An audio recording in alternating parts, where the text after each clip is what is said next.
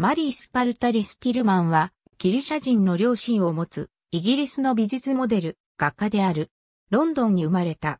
父親はギリシャに本社を置く、貿易商社、スパリタリ商会を経営する一族の裕福な商人で後に領事となった人物である。語学や文学、声楽やダンスの教育を受けた。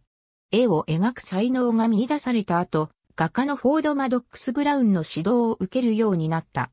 いとこにあたるマリア・ザンバコやアグライア・コロニオと、ジェームズ・マクニール・ホイッスラーの絵のモデルになり、その後、ラファエル前派の画家、ダンテ・ゲーブリエル・ロセッティの絵のモデルとなった。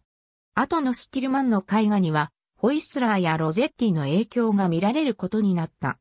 1871年4月に、両親の反対に抗して、アメリカ人ジャーナリストで、美術愛好家のウィリアム・ジェームズ・スティルマンと結婚した。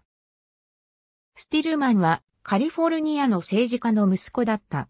三人の子供を産んで、夫の自殺した前妻の子供三人と共に育てた。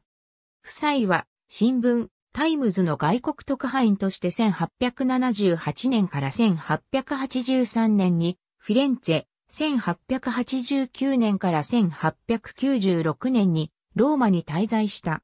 夫は1901年に亡くなった。画家としては典型的なラファエル全派のスタイルで、女性像やシェイクスピアなどの文学作品の場面やイタリアの風景画を描いた。ロイヤルアカデミー・オブ・アーツの展覧会やフィラデルフィア、バンコク博覧会の展覧会を含むアメリカ東部の展覧会に出展した。1927年にロンドンで死去した。ありがとうございます。